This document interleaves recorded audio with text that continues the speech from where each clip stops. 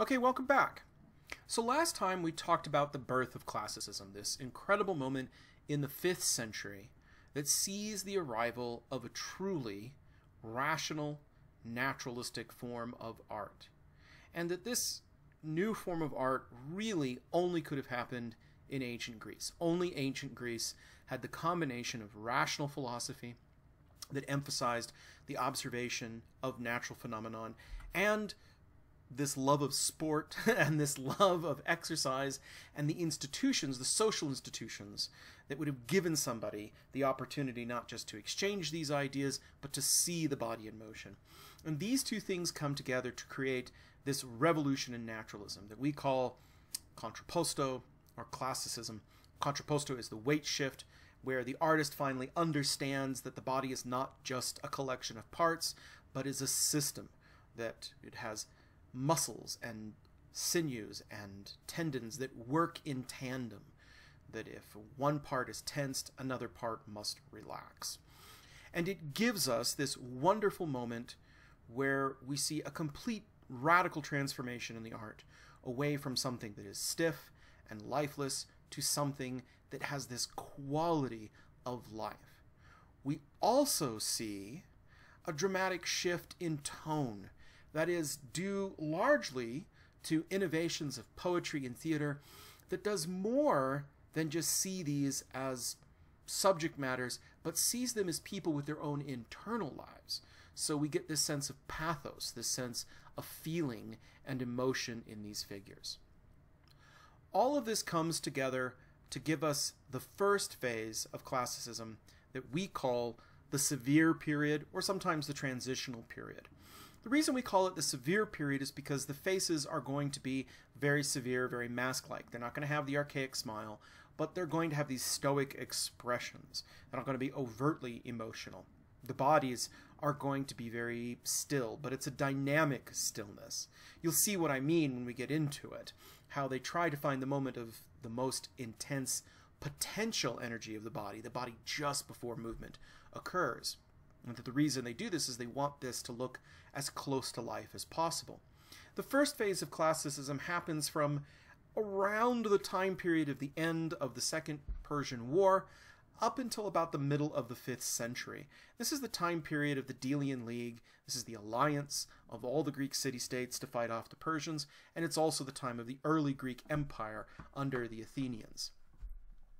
So we're going to take a look first at a place called Olympia. Olympia is a beautiful location deep here in the Peloponnesian uh, Peninsula. This is, of course, uh, the famed location of the Olympic Games.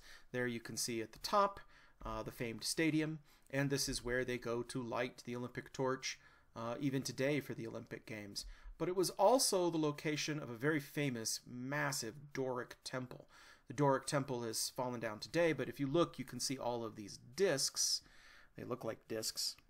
They're actually drums, and these are drums from the columns, and the columns are just enormous. Instead of carving these columns out of single blocks, single monolithic blocks of stone, they would instead carve them out of drums, and then the drums would be pinned to each other. So they each have like a socket on the inside that would align them. Sometimes they would carve the flutings before, but sometimes they would stack up the drums and carve the flutings afterwards. You can see these columns here haven't had the fluting carved in. You can see there's a little bit of fluting near the top, but they haven't carved it in. It's much easier to keep the fluting straight if you carve it after the drums are all stacked up.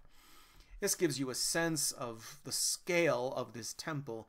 I somewhere in my closet in a shoebox have a picture of my sister at this site. Uh, many years ago, we went and visited this site, and my sister is reaching. My sister's only five foot two, but she's reaching up over her head, and her hand still can't touch the other side of this uh, drum. So she's standing the drum. So the drums are are well over six feet in diameter.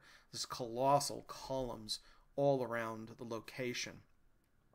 This was torn down by the Christians because it was a very important religious site, but in its prime, it was just an incredible temple of enormous scale. Now, it's most famous for being a site of one of the seven ancient wonders of the world, which was the chryselephantine statue of Zeus. This was by Phidias. Uh, a chryselephantine statue is a statue where the flesh is made out of pieces of ivory that have been pieced together, and then the clothing is made out of gold. Uh, this one is probably uh, uh, a pretty good reconstruction. Here is a smaller statue that is probably a copy of it, but there's a variety of kind of reconstructions. I love these two reconstructions because it gives you a sense of the scale of this thing. But that statue actually was created later in the classical period. The temple itself was made during the severe or transitional period, sometime around the year 460. And we're going to be taking a look at the west pediment. So the west pediment here is very similar to the pediment uh, at Aegina in that it has this kind of dynamic composition. You can see that we have figures that are laying down to fit the tight, narrow places. Others are crouching or fighting. And in the center, we have a god who's taller than everybody else. This is the story of the battle of the Lapiths and the Centaurs, which is this famous myths that comes from the region. Uh, the Lapith people uh, were having a celebrating a wedding, and so they invited all of the subjects of the kingdom to the wedding. And so you have in the very center uh, Apollo, the god, presiding, and his hand reaches out to one side. And the reason his hand reaches out to one side is because he's declaring his uh, allegiance in a fight that breaks out. In the midst of the wedding, uh, the centaurs, which are these half horse, half men that were invited to the wedding, get drunk and they start to get a little frisky with the women.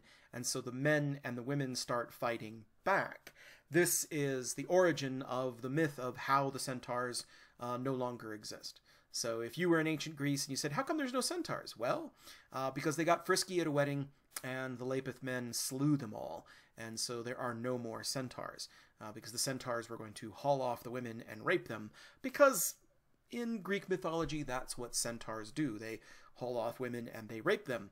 And you will never think of Dolores Umbridge in quite the same way again. Sorry for putting that into your mind, but there it is. So we see a, um, uh, Apollo presiding over this very raucous group. We have two centaurs fighting with women and two men trying to slay them in this group.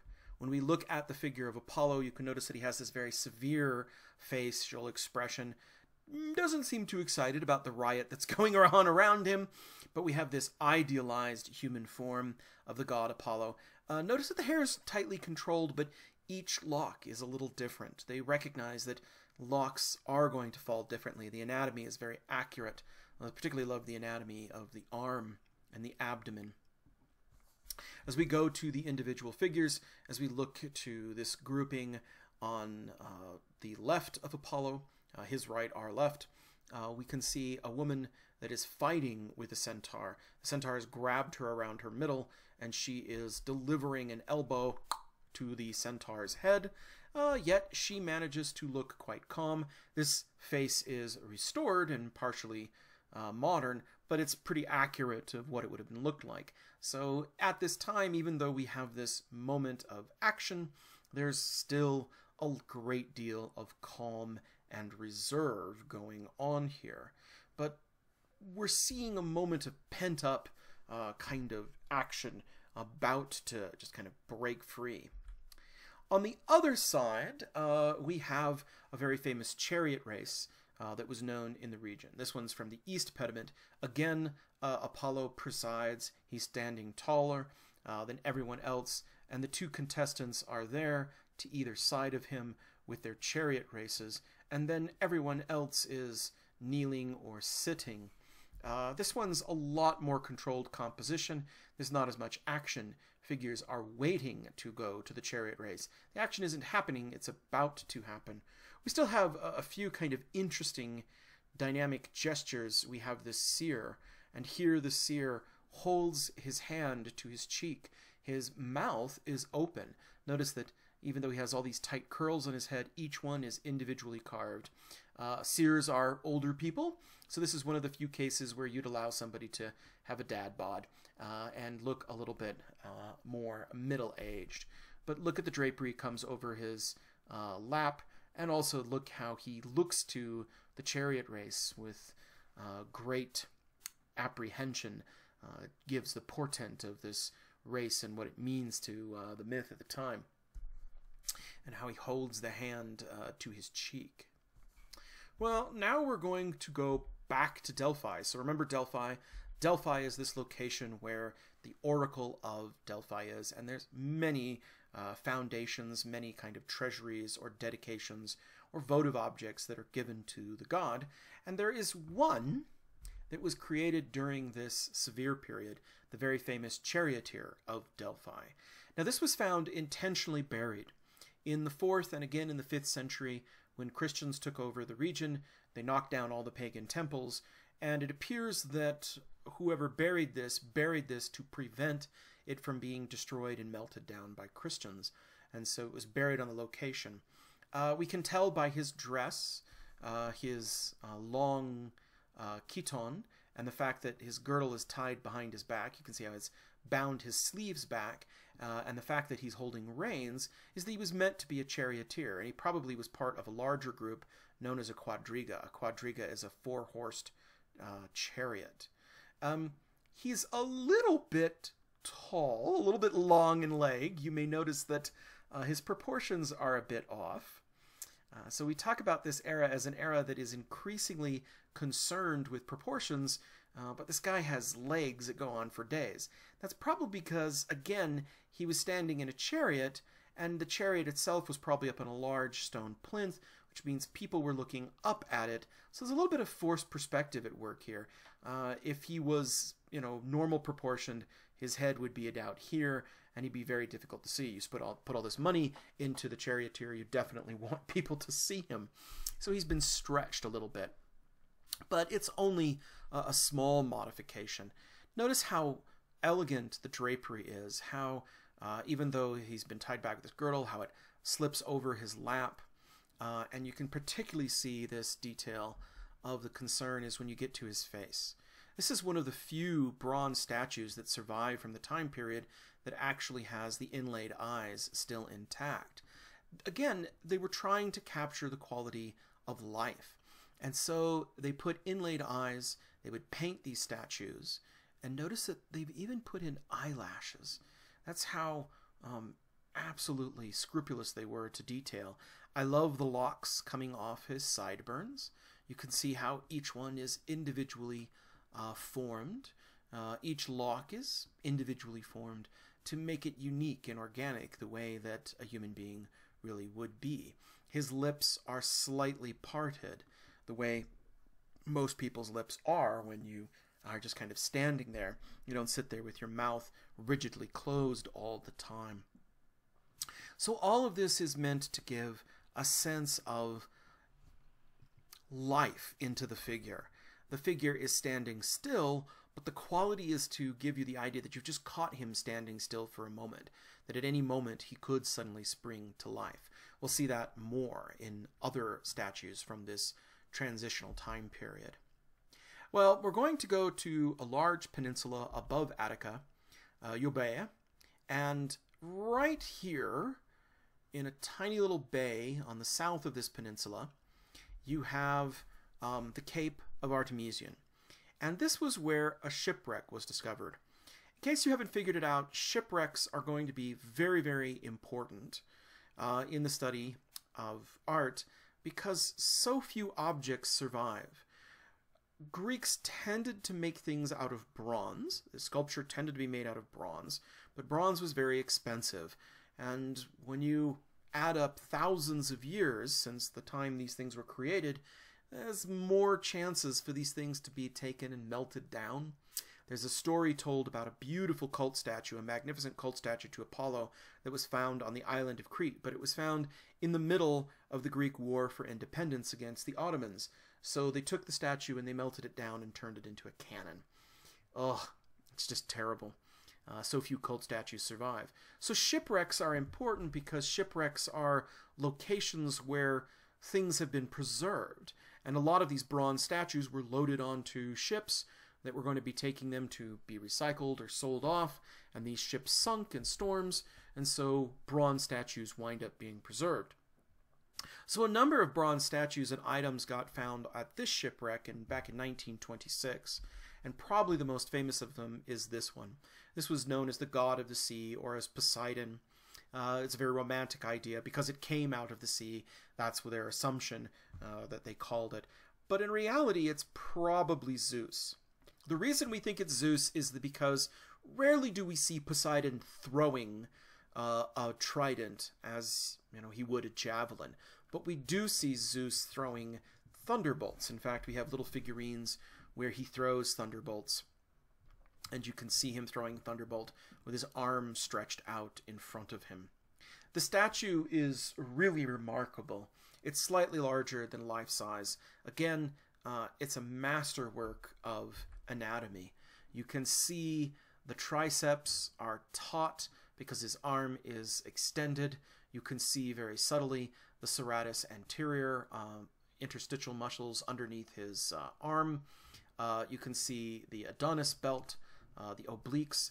Greeks really loved obliques. Uh, we seem to be really crazy about six packs right now, but Greeks loved obliques. That's what they were into, so we call this deep V on the oblique, the Adonis belt. Uh, it was considered a, a, very beautiful feature. They also liked very thick thighs and uh, very thick uh, glutes, uh, as you can see in this reverse image. So it's a marvel of anatomy, but I think one of the things that's the best about it is it captures this concept of dynamic stillness. When I say dynamic stillness, that really sounds like an oxymoron. It sounds like how can something be dynamic and yet still? If you ever thrown a ball in the air uh, to catch it again, you'll notice that there's a moment where the ball at the top of its arc is perfectly still. It lasts for less than a fraction of a second, but it stops before it comes down. That's when it has the most potential energy, and then it comes down. The same thing is true in the body of an athlete. If you've ever seen an athlete throw a javelin or a ball or anything, they have a wind up and then they swing. If you've ever seen a batter swing, if you've ever seen a golfer swing, they pull that club or that bat all the way back, and at the full pullback of that swing, they actually stop. And then boom, motion happens. It's the same thing when throwing a javelin.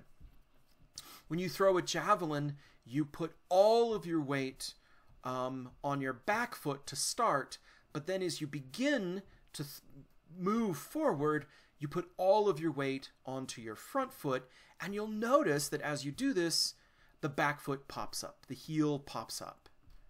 And so this is the moment just before he throws this javelin.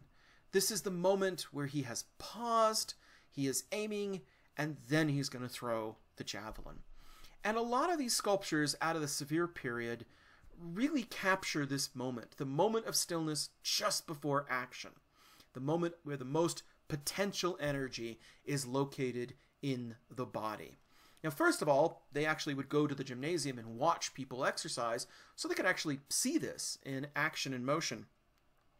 But I think the reason they chose this moment is it's the best moment to choose if you're going to make a statue because statues don't move. if you're trying to make a statue look lifelike, um, you have to try and capture a moment where the person is on the verge of moving but still not quite actually moving. And so the goal was to to try and find something that looked right at the moment of movement. And so it makes these things much more lifelike, much more powerful in their execution because it makes you feel as if they could spring to life at any moment. I think that's what they were really trying to capture. They were trying to capture that stillness just before action. When we look at this figure, again, his eyes are missing, but his eyes would have been inlaid. Uh, in fact, his lips, his eyebrows, and his nipples are all inlaid with copper because those things are different colors, and so they wanted them to have a different color. I love how the beard um, is still pretty tightly controlled. Whatever beard product or oil he's using, it's very good. Uh, but each curl is unique. You know, gone is the heavily patterned hair. Instead, we have little curls that have their own unique character that curl in an, uh, a kind of more believable fashion. All of this is, again, trying to capture uh, the quality of life. Uh, moving to Italy and going back to Magna Graecia, uh, which is Sicilia, um, or Sicily, and uh, Calabria, the, the toe and the football of Italy, uh, we have another location that we're going to look at. Uh, Riace. And Riace is a small little community, but it was a Greek uh, seaport uh, right in the toe of Italy. And right off the coast, there was another one of these marvelous shipwrecks. And in this shipwreck, they discovered the so called Riace bronzes or Riace warriors. Uh, when these were discovered back in 1972, I think the legend is somebody saw a hand sticking out of the sand uh, when they went diving, and they thought uh, this was a, a, victim of a of a mafia killing. Uh, because this was Italy, uh, but they went down there and discovered it wasn't a body, uh, that they were in fact two amazing bronze statues. So again, the importance of finds coming out of the ocean is very, very important. When we look at these figures, they have many of the same qualities that we see from figures from the Severe period. They have this beautiful contrapposto, uh, and they have this kind of elegant, dynamic stancing. Also, they have the preserved enamel in the eyes, and they have this wonderful, very detailed, but also very loosely, uh, you know, and uh, independently coiled hair, where each curl is unique. When we look at this figure, you can see the bulge of a vein in the forearm. Uh, you can see the serratus anterior muscles. Again, the Adonis belt. They they were crazy about the Adonis belt. They were crazy about the Adonis belt, uh, as people are today about the six pack. Every age has the thing that they were crazy about. He was uh, a warrior that probably would have been holding a spear in one hand and a shield in the other, but the shield and the spear are now gone. This is Warrior A, and this is Warrior B, who also would have been holding a shield. He is missing one of the original eyes, and also he had a separate piece that would have been a helmet that would have been a Corinthian helmet sitting on his uh, head, uh, but is now since gone. These figures also had, in addition to inlaid eyes, they had inlaid nipples and lips. You can see that the lips are inlaid in copper and the nipples are inlaid in copper to give them a different color because again that's true to human beings and they want those to be accurate. Now an interesting debate has emerged about these two statues. When they were first discovered people said because of their posture, because of their their contrapposto, uh, their reserved faces, the detailing, that they fit well into this severe period, this time period where we're transitioning into the classical period. But a new evaluation has come about in the in last 20 years or so. Actually, more like last 30 years or so. I keep forgetting how old I am. And people started noticing that uh, the groove in his back is a little bit too deep. Some of the muscles are puckered a little bit too much. This tricep, this muscle around here, uh, this is a bit too extreme. His hips are a little bit too far to the side. The veins are bulging just a little bit too much. The figure is more than just uh, you know a classical figure. He's a little bit of exaggerated, and so an interesting theory developed, uh, which I like to mention because it's important to realize that a lot of these dates that we come up with these things are based on style. And the theory says that these are not from the 5th century, that they're actually from the 2nd century, and that they are Hellenistic works of art. Hellenistic works of art are known for exaggerating certain details of the anatomy. They're more amped up, they're more pumped up as if they're on uh, steroids. You'll see when we get to Hellenistic art. And so people are saying these are not classical, severe periods, uh, pieces. These are Hellenistic periods that are intentionally anachronistic. Uh, and so this shows that style is very, very fluid. It changes dramatically over time. Uh, I have lived long enough to see bell bottoms come back at least three times now. I lived through the original bell bottoms when I was a kid, and I never thought they would ever come back. And sure enough, they came back in the 90s, and then they came back again. So, you know, there's no accounting for taste or style. Uh, and then you have to ask the question, you know, is this original or is it vintage or is it retro? Uh, you know, I, I gave my daughter my acid watch, my acid washed uh, blue jeans Levi uh, jacket, denim jacket, and uh, everybody thought that she had bought it new. Uh, that she had bought it. She said, "No, this is original. This isn't. This is this is vintage. This isn't. Uh, this isn't retro. This is genuine vintage." Well, those kind of changes in taste happen in, happen in the ancient world too, all the time. And so it's very hard to tell.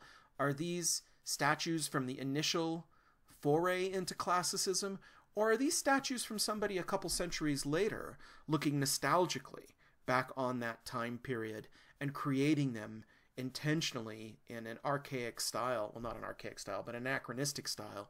Uh, and that's something I just can't answer, uh, and many people can't answer. It's uh, always hard when styles change. They have comebacks. They had they have revivals, and so unless you're very very certain of the date of things, you can't quite be certain.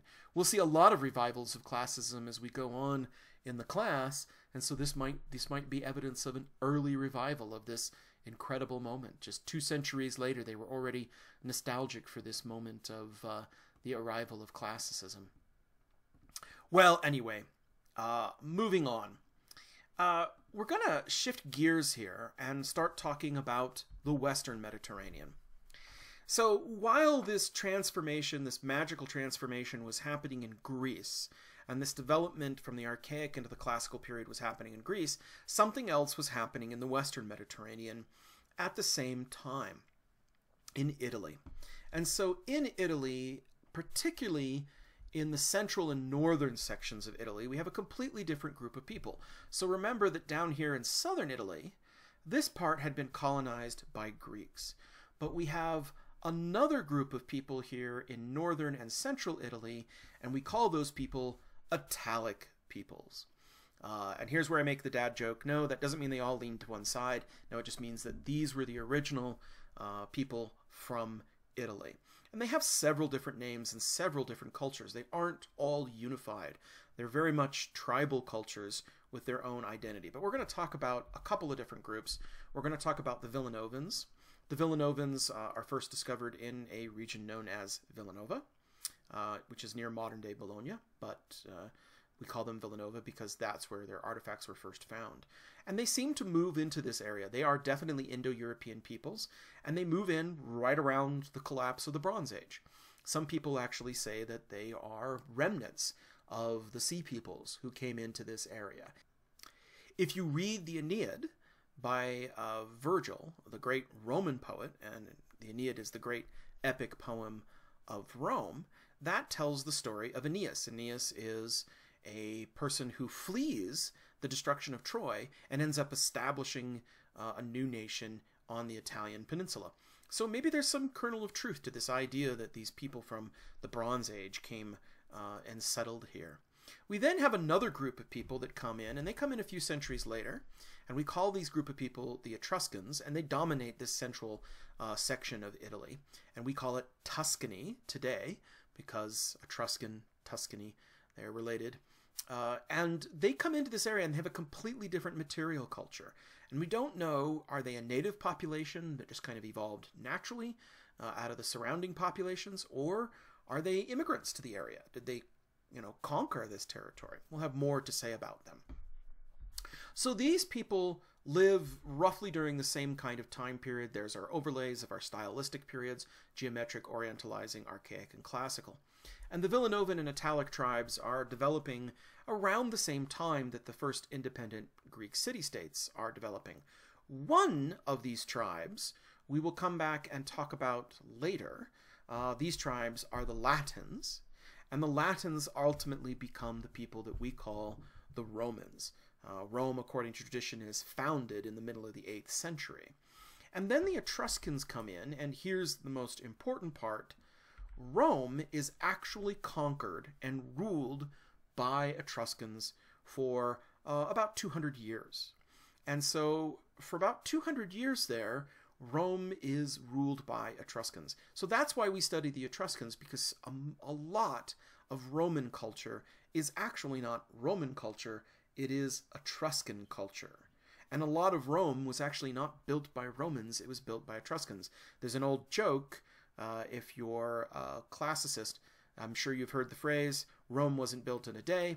Uh, but if you're a classicist and you study the classics, you'll say Rome wasn't built in a day, and it wasn't built by the Romans either. It was built by the Etruscans. Uh, eventually, the Romans will overthrow the Etruscans and establish a new government we call a republic, but we'll talk about that when we get to the Romans. So let's get back to Villanovan culture. So there was a tiny little settlement called Villanova. It's near modern day Bologna, and this is where we first started to find their artifacts. But you can see that their artifacts are all over Italy. Some of them actually get down here into Campania. This is the region of Rome, um, but they're mostly on the coast here. And you can see their little, um, you know, culture as it developed. One of the things that's characteristic about their culture is the Villanovan hut urn. Villanovan hut urns are really simple ceramic uh, urns that are designed to hold the ashes of the dead. They practice cremation, so their dead would be burned, and then the ashes and the bone fragments would be gathered and placed into this urn, and this urn would then be buried. It's called a hut urn because it's patterned after huts. In fact, if you've ever seen a, you know, a Villanovan hut, uh, it probably looked very similar to this urn. And we know what these huts look like, not just because we have the urns, but because we also have the foundations to some of these huts. They would carve the foundations of these huts right into the living rock. In fact, there's a very famous foundation carved into the Palatine Hill. This is the hill that where Rome was founded, and this is believed to be the hut of Romulus, the founder of Rome. So it seems that you know, if, if you date Rome to the beginning of the, uh, you know, the 8th century, somewhere in that area, then maybe there's a kernel of truth here. Maybe this really was Romulus's hut. And if so, then maybe the Romans were the descendants of these Villanovan peoples, or were at least very culturally similar. Uh, they eventually move on to more complex urns, and we see a, a variety of urns. These urns have a handle to tip them with, and they often have a lid. I love this lid because this lid also functions as a scoop. You can pour things out into it and measure things. You can see that it has its own flat base as well, so it too can function as a as a bowl or a scoop. It's very functional. But in this case, it's functioning as a lid. They would put the ashes of the person inside, and so this is a functional piece of pottery that was made uh, and interpreted and reinterpreted and specifically to be an urn. What I love is sometimes you will see these urns but they'll actually have a helmet on top of them. Uh, there are these bronze helmets that are very, very uh, idiosyncratic to the Villanovan people, and so this is an indication that this was uh, a burial. These are the ashes of a warrior, uh, somebody of high status. And sometimes we actually see lids to these things that aren't helmets. This one's an actual helmet. This was probably the helmet of the deceased being used as the lid for his own urn. But sometimes we see uh, a lid made out of ceramic that's made to look like a helmet. So, you know, it became a kind of uh, an interesting statement. Well, from very humble beginnings, we then move to the Etruscans. And the Etruscans arrive sometime around the year 800 in central Italy, and they quickly establish control over the entire area. And eventually, you can see that they expand their influence uh, to the north and far down into the south, including this area known as Campania, uh, which includes the Latins and Rome. Uh, and they have a total shift in material culture. So once the Etruscans come in, people abandon the hut urns, they abandon those pots um, where they're burying things, they stop making those oval huts, and they start making architecture out of mud brick and wood that looks much more like what we see Greeks make. And this has always begged a question. Does this mean that we have a new culture coming in? Did a new group of people invade Italy and conquer this territory somewhere around the year 800? Or did we just have a group of elites move in and, you know, did they say, hey, you know, here's how we make houses, here's how we make pots, and everybody said, ooh, that's cool, and they started changing their culture to the new group of elites that moved in? We don't know. There doesn't seem to be much evidence of conquest. There's no burned cities or anything like that. Nothing like what we see at the end of the Bronze Age and the Aegean. So I think that either the Etruscans evolved from the local population, maybe they were trading with Greeks, maybe they adopted a lot of the Greek ideas. There's a lot of evidence that they were trading with Greeks in Magna Graecia in southern Italy, and maybe they just adopted or changed their ideas. Or maybe they were a group of Greeks or similar peoples who moved into the territory and brought those ideas with them. We don't really know. Uh, but they're definitely the first rulers of Rome. They conquer Rome, and so a lot of Etruscan culture winds that uh, ends up there. Uh, Etruscans do have writing. They have their own writing system. You can see it, and you can tell how dramatic the shift in culture is because we do not have artifacts like this from earlier Italic peoples. These are the very famous Pyrgi plates or Pyrgi tablets. Uh, this was a dedicatory inscription made on gold plates. Then you can tell that those gold plates were then riveted or sealed at the corners. And these three gold plates were riveted and sealed together and they were buried under the foundation of a temple. And the temple is dedicated to a goddess uh, that is described as Uni in one inscription and as Astaroth or Astarte in the other. And it's actually written in two languages. One of the plates is written in Phoenician, which is a Semitic language from the eastern Mediterranean, and this one is written in Etruscan, which is an Indo-European language. That's really bizarre. So there's two different language groups, two different ethnic groups represented here. Does this mean that the Etruscans, the Etruscans are Indo-European, Etruscans an Indo-European language, um, but does this mean that they had extensive trade with uh, Phoenicians who are people of the Levant and the Eastern Mediterranean? Probably so. So obviously it was important enough to this person to write it in both Phoenician and Etruscan. So that shows that maybe the Etruscans are coming from some other place and have strong contacts. There's a lot of things that indicate that. One of the things that's very interesting about the Etruscans is they have a large funeral cult. Um, it was very important to them to take care of their dead, whereas the earlier Italic peoples certainly cared for their dead and made urns and other things for the dead. Uh, the Etruscans built huge necropoli. A necropolis is a city of the dead. And these were tombs and family tombs that they would bring their dead to. So these are obviously some kind of ancestor worship. These are not tombs that you make as a one-off and then drop off grandma or grandpa and then never see her again and maybe bring flowers on uh, some important occasion. You would return to these regularly uh, for as places of worship. That strongly indicates that there's some kind of ancestor worship that you had to preserve your ancestors or provide for them in the afterlife. So very similar to what the Egyptians thought.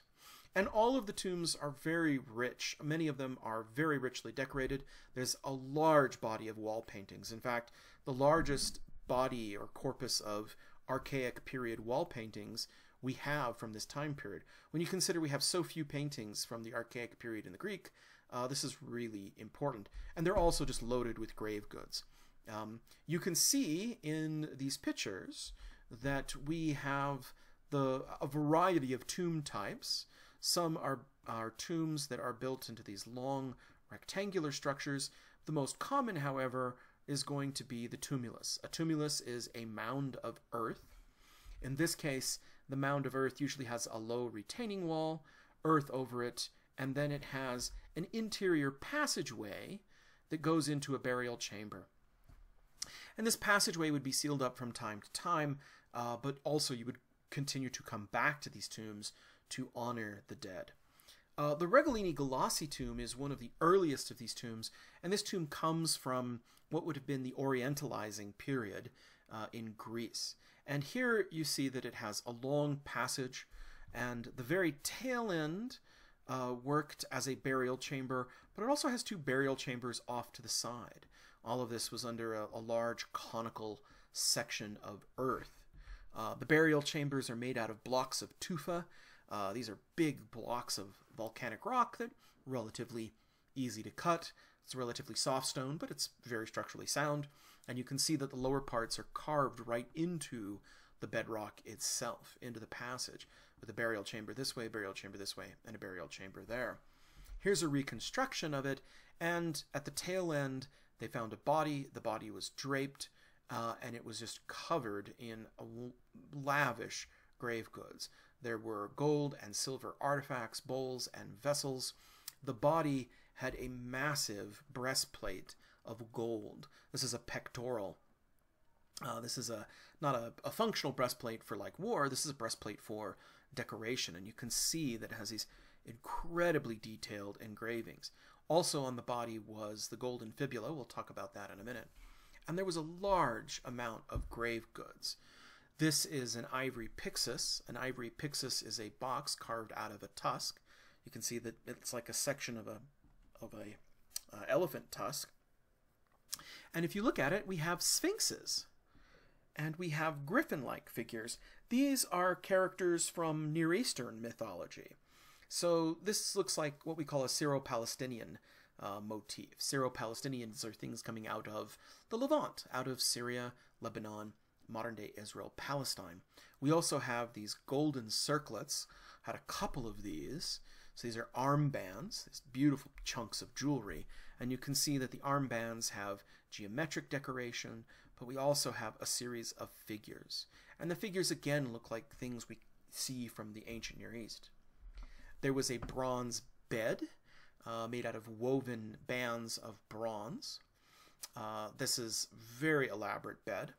Uh, again, beds were probably, you know, maybe the frame was made out of wood or, or bronze, but the interior part would have been made out of cloth or leather or something like that. So this has been made out of bronze to show how high status it is, so that it will last for the deceased. Uh, and then we also find cauldrons. One of those orientalizing cauldrons uh, that we've talked about so much, we find those. So these things may have been Greek artifacts. Some of these objects are clearly locally made, but some of them are clearly imports coming all the way from Syria and the eastern Mediterranean. And so this is probably a, an import coming out of Greece. So this shows that they have far-ranging trade contacts. But this object is unique and was probably made locally. This is the great golden fibula. A fibula is just a big fancy safety pin. That's all it is. Uh, if you have a cloak, the cloak is a rectangular cloak. You need to pin the cloak, uh, so you need a big fancy pin. So this is a big fancy brooch uh, that would pin your cloak on your shoulder. And the thing is bigger than a dinner plate. Uh, you know, you can see earlier picture exactly how big this thing is. It's enormous.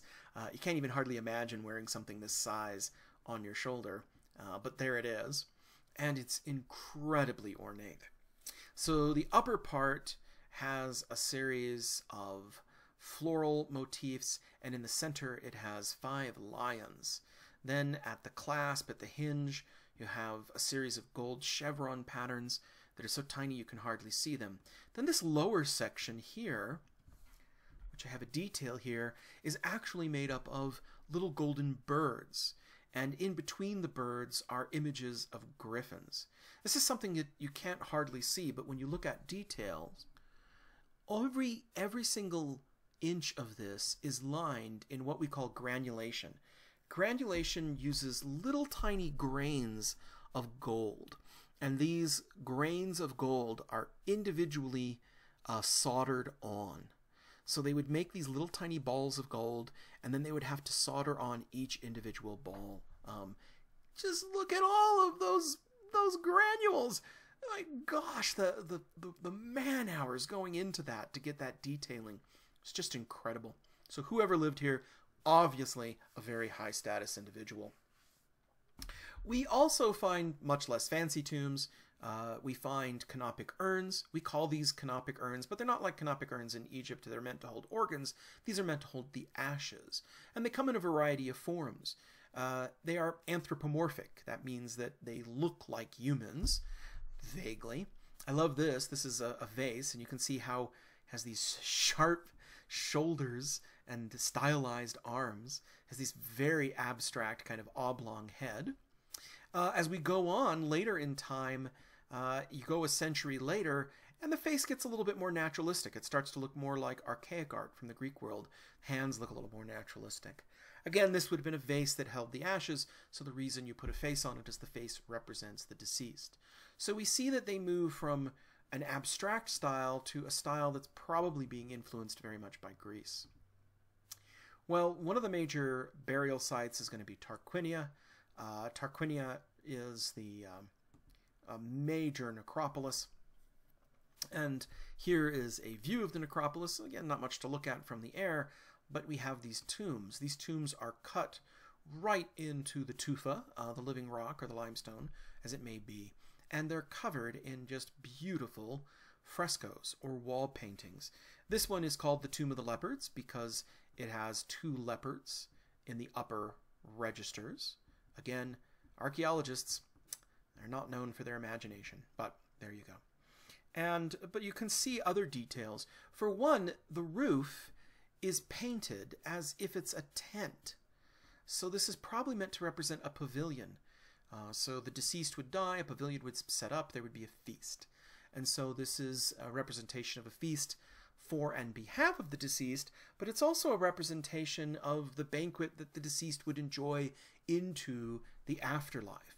So you can see that in the lower registers, we have people enjoying a banquet.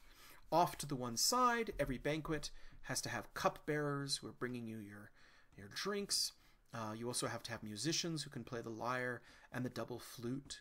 Uh, when we look at these figures, they're very dynamic. They have these wonderful sweeping, uh, you know, cloaks that they're wearing, and then in between them are these lively little trees.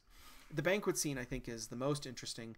When we look at the banquet scene, it looks very much like a Greek symposia. I Remember, Greek symposia are kind of dinner parties, uh, but they were male only. If you'll notice here, lying on these beautiful couches, which do look like Greek couches, you see not just men, but women.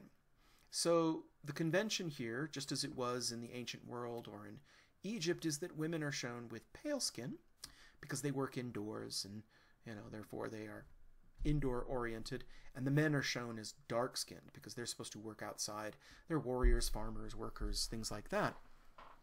And so the men and women are lying together on the couch, enjoying a repast while servants uh, bring them their cups and entertain them. And it's amazing how sometimes how how tender and remarkable it is. Uh, this woman reaches over here to her man, her spouse. He reaches into a bowl and plucks some food, and he's going to feed it to her. Uh, that's very kind of romantic uh, notion. And it shows that the status of women in Etruscan society is a lot higher than the status of women in Greek society. This is an interesting wrinkle. In fact, we know from written sources that Etruscan women uh, could have professions, they could own property, uh, they had property rights and rights to dowries, and if uh, their husband died, they inherited their property and could still run their property. Just think of the Odyssey. In the story of the Odyssey, uh, you have Penelope, uh, Odysseus' long suffering wife, and the only way she could hold on to her property uh, was to entertain all these suitors. But once she got married, she would have to surrender all of that property over to her new husband, which is why she was holding out so long that Odysseus would come back because she really didn't want to hand over her property uh, to someone else. But that wasn't true in the Etruscan world. In the Etruscan world, women had status. And so, as a view of the afterlife, this is kind of a nice view of the afterlife that you and your beloved uh, wife could enjoy an endless repast. And this isn't accidental. We see this everywhere. Uh, there's a nearby temple, the Temple of Poggio Civitate, and at the Temple of uh, Poggio Civitate, we have these beautiful terracotta roof elements. These are called acroteria or cornices or protomes. But there's also a terracotta frieze, and on the terracotta frieze, we see a banqueting scene. This is a little hard to see in the tile, but in the drawing, you can see how, again, we have mixed groups. We have men and women lying on uh, couches uh, with tables of food in front of them, enjoying their, uh, their repast. Uh, it looks like a happy view of the afterlife, much happier than the Greek view of the afterlife, at least. And that isn't all. We have these beautiful sarcophagi. This is known as the sarcophagus of the spouses or the banqueting couple. Uh, and here again we have a loving couple. Uh, she lies in his arms. He holds a plate. The plate is unfortunately now missing. And they pluck food and they're feeding each other. Uh, so they lay on a couch and enjoy a banquet into the repast. Uh, they enjoy this repast into the afterlife. Uh, notice that their faces are very mask-like and they have the archaic smiles. So stylistically, with their patterned hair, this is very similar to archaic Greek art. The subject and the content is unique to the Etruscan world, but it's clear that they're being inspired by the Greeks, at least stylistically, with the patterned hair. One thing that you'll notice about the Etruscans is there's not a lot of stone sculpture. There's not a lot of bronze sculpture. Most of this is going to be in wood or terracotta. Uh, their temples are going to be made out of wood and brick and terracotta and not be made out of stone the way the Greeks were. Uh, even though they were a very strong, localized, uh, you know, kingdom and empire, uh, they tend to have uh, less permanent materials, shall we say. So the banqueting theme is a common theme of these tombs, but the tombs also show people just enjoying life. Here in the tomb of hunting and fishing, we have scenes of people hunting and fishing. Again, art historians and archaeologists, not known for their imagination. Uh, at the top, we see what appears to be people preparing for a funeral banquet. Notice that they are making garlands of flowers and they're hanging those garlands up. So this is in preparation of the funerary banquet itself. You'll see that those garlands are hanging there. But down below we have a scene of people hunting. This person is using a sling to hunt birds. These people are fishing off the edge or the prow of a ship. Elsewhere on the wall we have somebody diving, uh, taking a swim. When we look at the birds, the birds stylistically look a little bit like Egyptian art. Uh, and what I love is that there is two tiers to the understanding of this piece.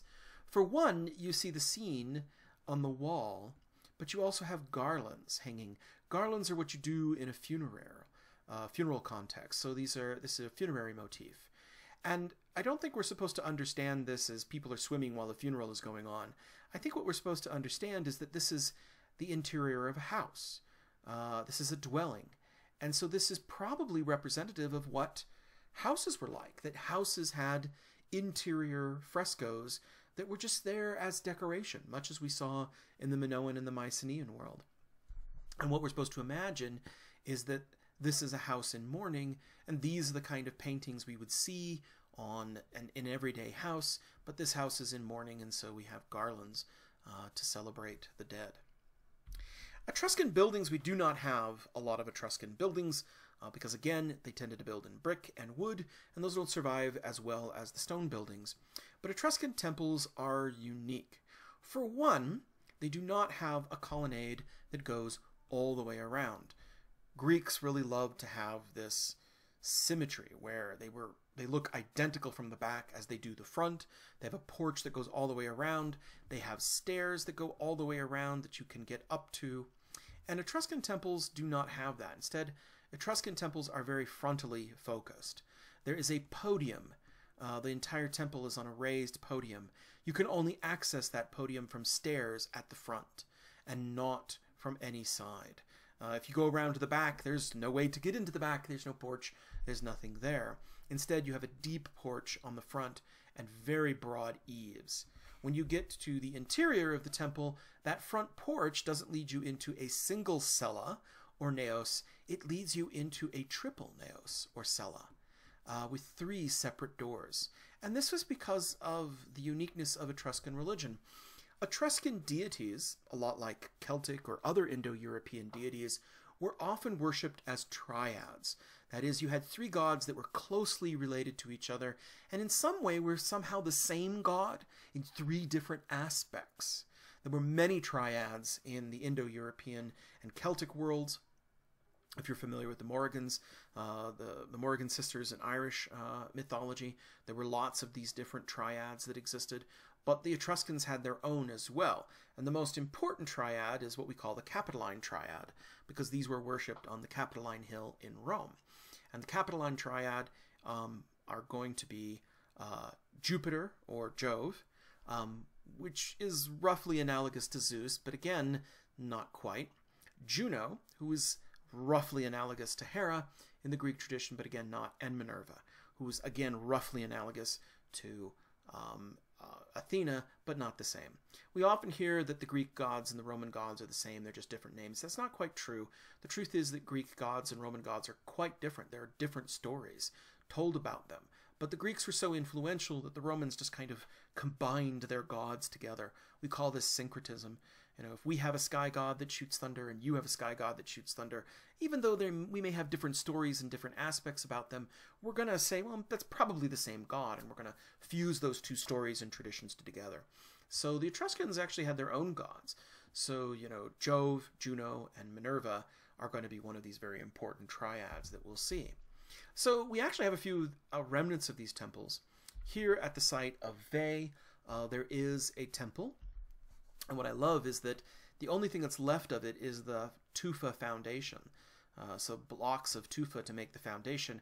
The upper part has completely disintegrated, but the um, uh, the, the local um, uh, preservation uh, team has put this uh, wireframe here to give you a sense of how big the temple was and how impressive these temples would have been.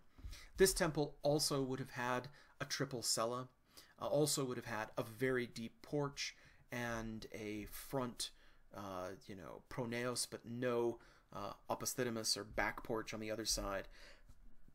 They're very frontally organized. And this thing um, had a large number of figures on the roof. Uh, we call these figures acroteria or ridgepole figures. Now, if this were Greece, they'd be putting the decoration up here in the pediment. But in Etruria, in Tuscany, the decorations are going to go on the roof. As we look to one of these cornice areas here, we're going to see uh, beautiful terracotta cornices in multiple colors with heads and acanthus leaves and Greek keys. Really beautiful. When we look to the ridgepole figures, we're going to be seeing a story out of the third labor of Hercules. So this is a Greek myth. So this shows evidence that they're being influenced by Greek myth. In this story, Heracles has to go kill this magical uh, deer, this hind with golden horns. Here you can see Hercules, his head and arms are missing, but here you can see standing on the deer. Uh, the deer is trussed up and he's going to remove the horns. This deer was sacred to Artemis, and so Artemis was not happy about uh, Hercules or Heracles doing this, so she sends her big brother, her twin brother Apollo, to go uh, interrupt this scene. So here we have Heracles, and here we have Apollo. Both of these figures are made, again, out of terracotta. You can see that they are hollow, constructed. It's really kind of a marvel that you can make these larger than life-size sculptures out of terracotta. It's very, very hard material to, to work in that scale, and then you got to fire it. You got to have a kiln big, big enough to fire it. When we look at it, um, that's also why it has to have this elaborate kind of construction between his legs uh, to give him support. But we see him striding forward, but notice that he has the heavily patterned hair. Here's a detail. He has a very heavily patterned hair. His drapery is very heavily patterned, and he has, of course, uh, the archaic smile. So this shows that even as they are moving into this time period, they are influenced by the Greeks. Now notice the date. This is around the time that the Greeks are starting to abandon the archaic smile and develop. Uh, and the Etruscans don't quite get there. They, they are obviously being influenced by the Greeks, and they will get there eventually, but not till a much later date. So the high point of Etruscan civilization is analogous to the Archaic period. The Greeks peak later. Their high point is going to be classical civilization, but the Etruscans actually peak earlier. And by the time we get um, into the 5th century, uh, their influence is going to be waning, and they're actually going to be more dominated by the growing power that is going to be Rome down here. But a couple of other things we want to talk about. First, we want to talk about Perugia. So, at the city of Perugia, there is a massive city gate that was built by the Etruscans. Um, this upper part here was finished off in the medieval and the Renaissance eras, so ignore it.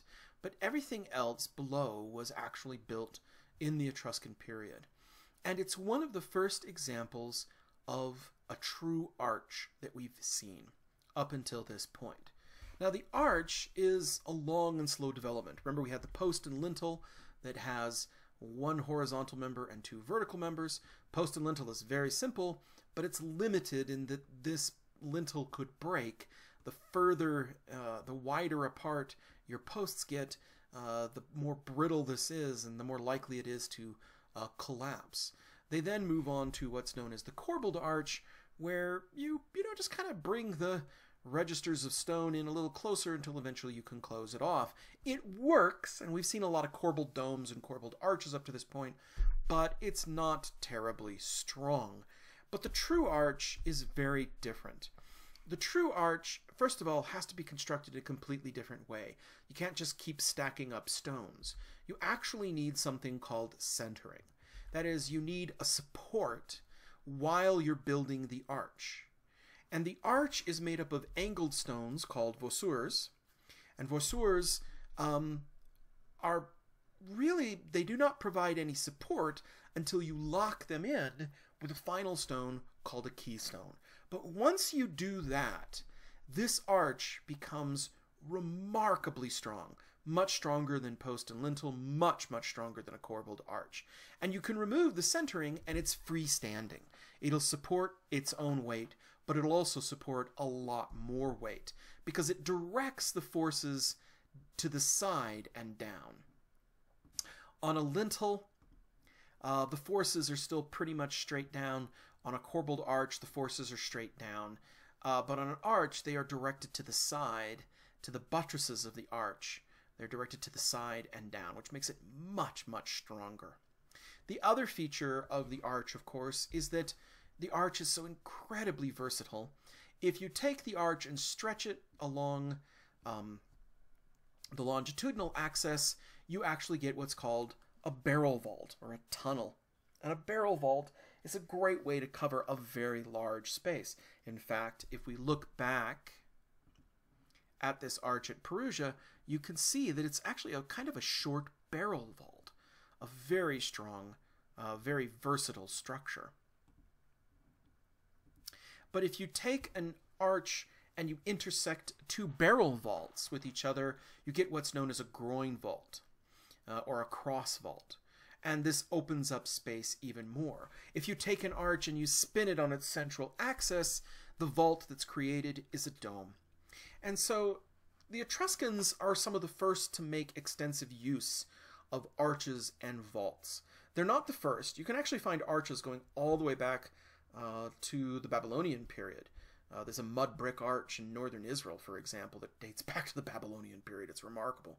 So people knew about arches, they just didn't use them. So the Etruscans are some of the first to use arches, and they introduced the arch to the Romans, and it is the Romans who will really take the arch and just run with it and make it something spectacular.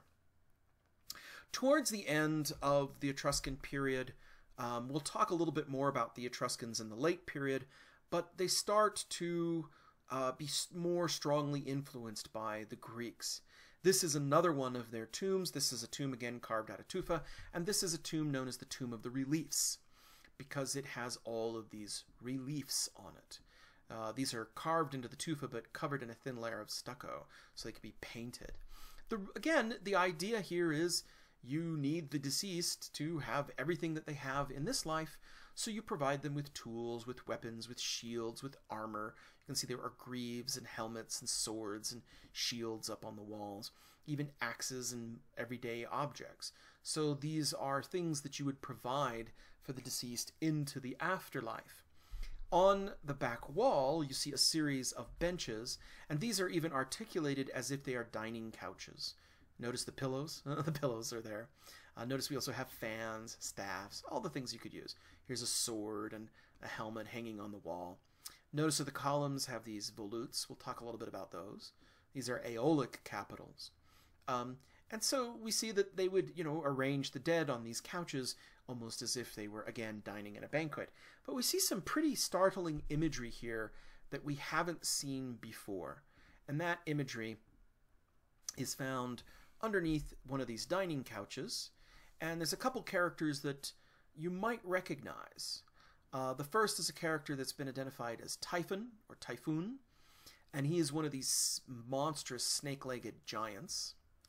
Uh, and he is seen as a character of the underworld, and he is in Tartarus. Now, Tartarus is in Hades, and Hades is a Greek concept of the afterlife. That's the underworld in the Greek myth. And then that probably, you know, indicates who this character is here. This is a three-headed dog. This is, of course, Fluffy uh, from uh, Harry Potter and the Sorcerer's Stone. No, of course, no. This is this is Cerberus, or Kerberos, as he's probably known in the Greek. And he's the three-headed dog, and he is the dog that guards the way into the underworld in Hades. These are not native Etruscan ideas. These are ideas that are definitely coming from the Greeks. So it shows that as the Etruscans wane in influence, they're borrowing more and more from the Greeks. And we see them take on more and more ideas. So we see how influential and important the Greeks are and how wide ranging and extensive Greek influence is. Remember, this is Italy, but down in the boot of Italy, down in the toe and uh, in the football that the toe is kicking, uh, we have Greeks. That's called Magna Graecia. So we have Greeks. It's not like they even have to go to a different island or a different part of the Mediterranean. They're on the same peninsula. And so they can get this influence. And it seems that the Greeks, as they enter into this classical period, the Greek influence, Greek culture, even Greek belief systems uh, come to predominate, uh, predominate on the uh, Italian peninsula. Okay, well, next time we meet, we will talk about high classical Athens and the Acropolis and the Parthenon. Look forward to seeing you then. Thanks so much. Bye bye.